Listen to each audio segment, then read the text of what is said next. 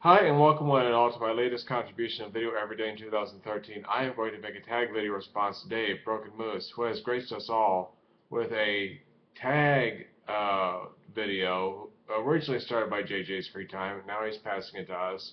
He is gracing us with five questions and I'm, I'm going to answer all five of them starting with the first one. So let's get started. Question one. Have you ever had drama in a Hangout? No, I don't go to Google Hangouts. Uh, I don't even host my own. Uh, there was one uh, incident in Stickam where there was a naked man with pancakes, and I guess it's sort of a pancake and sausage thing.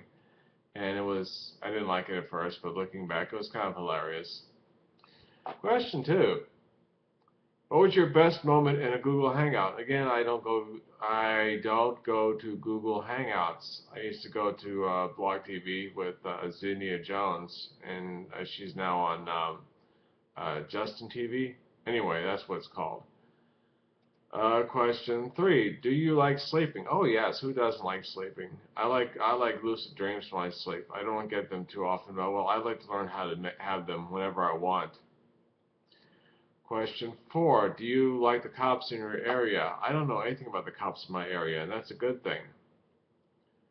Question five. What is your fave alcohol? My fave alcohol is beer and hard lemonade, and I tolerate wine, and I cannot stand any hard liquor. Hard liquor is just disgusting.